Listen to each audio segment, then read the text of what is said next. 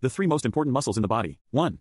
Abdominal muscles abs. The abdominal muscles are part of the core muscles, and they stabilize the body center, protect the spine, and support the lower back and pelvis. They also play a crucial role in maintaining posture and aiding in respiration. Strong abdominal muscles help prevent lower back injuries, improve posture, and contribute to overall body balance and athletic performance. Exercises like planks, crunches, and leg raises are effective for strengthening the abdominal muscles. 2.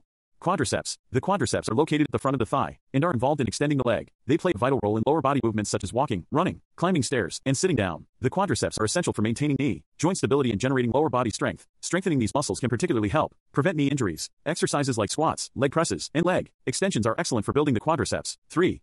Gluteus maximus. The gluteus maximus, located in the buttocks, is the largest muscle in the body and is involved in various movements, such as walking, running, sitting, and standing. It plays a critical role in stabilizing the lower back and pelvis and generating lower body power. Strong gluteal muscles can help prevent lower back pain, increase lower body strength and stability, and improve overall athletic performance. Exercises like squats, lunges, and hip thrusts are effective for strengthening the gluteus maximus.